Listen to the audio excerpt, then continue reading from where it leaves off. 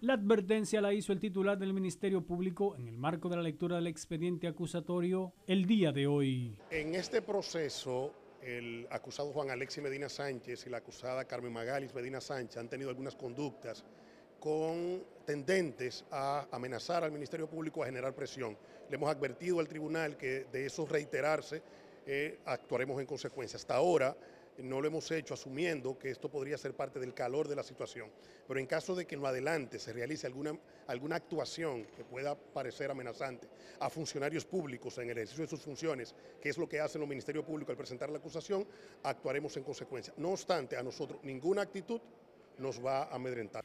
En torno a los detalles de la lectura del expediente, la fiscal litigante del Ministerio Público, Mirna Ortiz, informó que hubo serias irregularidades que se manejaron bajo un esquema de sobornos millonarios en la unidad de electrificación rural y suburbana UER.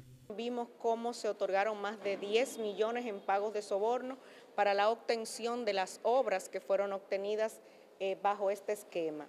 La fiscal también informó que analizaron el proceso que utilizaba Alexis Medina, supuestamente para el blanqueo de recursos. El lavado de activos de Alexis Medina, cómo operó a través de testaferros, disponiendo de bienes que fueron adquiridos con dinero producto de los actos de corrupción, adquisición de vehículos de lujo, de villas. El Ministerio Público avanzó el día de hoy hasta la página 830 del voluminoso expediente el cual se continuará leyendo el próximo viernes. Desde la Fiscalía del Distrito Nacional, para Telenoticias, Wilson Mejía.